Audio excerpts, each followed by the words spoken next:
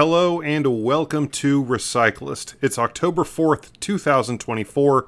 I'm your host, Eric Provost, and this is your weekly roundup of all the biggest news stories in the world of waste, gas, and energy presented by Diamond Scientific. First things first, and as always, let's take a quick look at the stock market and five stocks on the move this week within the world of waste, gas, and energy. As of October 4th, 2024, Brookfield Renewable Corp is currently sitting at $31.91 per share. NextEra is up to $83.89 per share.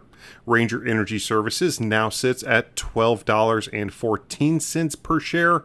Forum Energy Technologies is now at $16.05 per share and Black Hills Corp is now sitting at $59.86 per share. But first up in the news, according to a new study published in the journal Environmental Science and Technology, researchers at Northwestern University have discovered how cells of a Comamonas bacterium in wastewater are breaking down plastic for food. First, they chew the plastic into small pieces called nanoplastics. Then they secrete a specialized enzyme that breaks the plastics down even further. Finally, the bacterium uses a ring of carbon atoms from the plastic as a food source. Ludmilla Aristilde, who ran the study, said, quote, We have systematically shown for the first time that a wastewater bacterium can take a starting plastic material, deteriorate it, fragment it, break it down, and use it as a source of carbon. It is amazing that this bacterium can perform that entire process, and we identified a key enzyme responsible for breaking down the plastic materials. This could be optimized and exploited to help get rid of plastics in the environment. End quote. And staying with wastewater for just a moment, a historic $71 million four year long contract to rehabilitate the Accotink wastewater pump station in Fairfax County, Virginia, was recently executed by the state's Department of Public Works and Environmental Services. This contract will increase the capacity of the sewer infrastructure from 37 to 45 million gallons per day replace approximately 6,600 feet of piping, and upgrade the odor control system. The contract for this project is historic as it is the first local government project labor agreement to be administered in Virginia. District Supervisor James Walkinshaw said, quote, Virginia's first ever local government project labor agreement will help ensure that this critical infrastructure project is delivered and meets the needs of Fairfax residents for years to come. Treating workers fairly is the Fairfax way, and I'm proud of the Board of Supervisors and leadership for their commitment to this new approach. End quote. But now moving away from wastewater, Ameresco Incorporated, Republic Services Incorporated, and the Pacific Gas and Electric Company cut the ribbon this week on California's largest landfill gas to renewable natural gas plant located at the Keller Canyon Landfill in Pittsburg, California by having the capacity to process 4,500 standard cubic feet per minute of landfill gas, the plant is designed to reduce annual carbon emissions by approximately 62,000 metric tons, the equivalent of taking 30,000 cars off the road or displacing up to 7.5 million gallons of diesel fuel.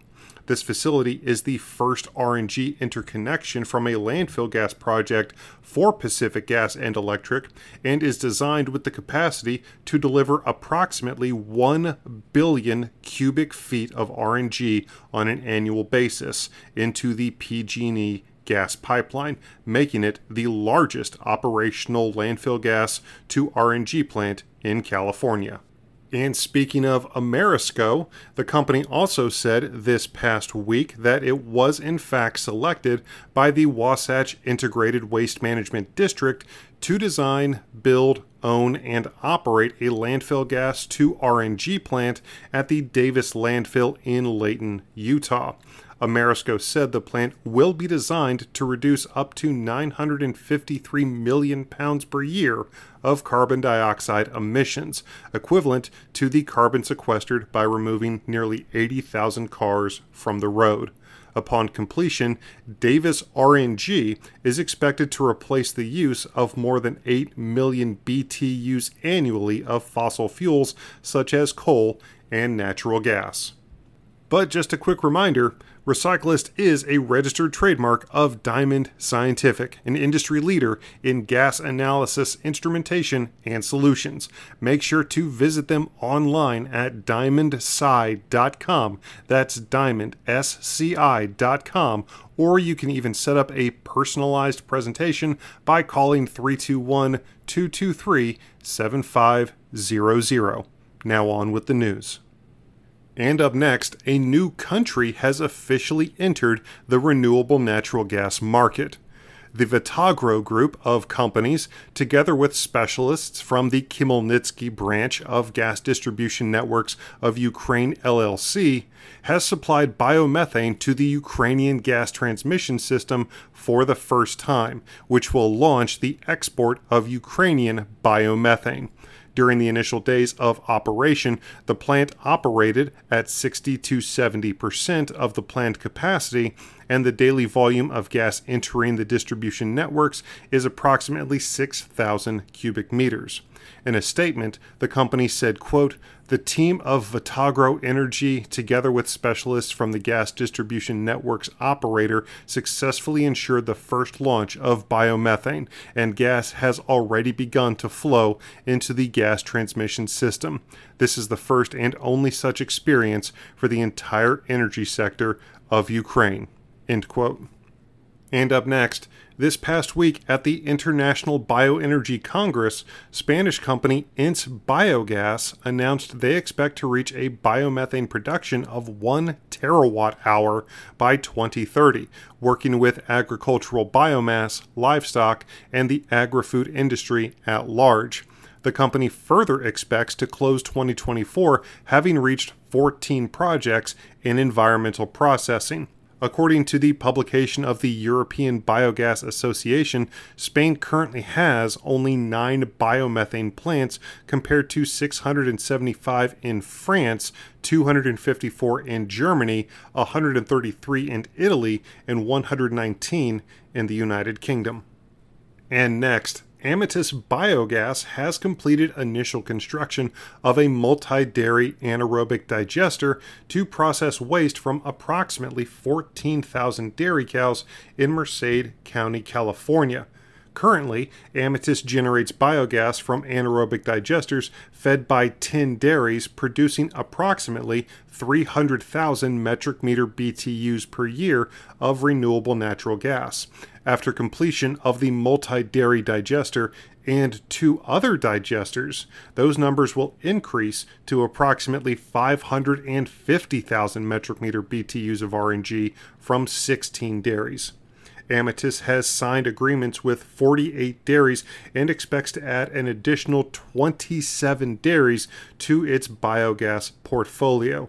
When fully operational, the dairies in the Ametys Biogas Central Dairy Project are expected to generate more than 1.6 million metric meter BTUs per year of RNG and annual revenues of $250 million. And lastly, North Dakota's Industrial Commission has approved funding for three pilot projects that would create renewable natural gas. The first two projects are going to occur at the Hillsboro plant and the Vandebedaf Dairy of Carrington, North Dakota's largest dairy. The third project the Commission approved was submitted by Singularity Energy Technologies for a waste to fuels project using what is called a quote sandwich gasifier end quote the Industrial Commission approved $455,000 for each of the first two projects and nearly $487,000 for the third. The money comes from the state's Renewable Energy Program. And that has been your October 4th, 2024 news update brought to you by Recyclist, a trademark of Diamond Scientific. I've been your host, Eric Provost, and we will see you back here next week for another brand new episode of Recyclist. Thank you.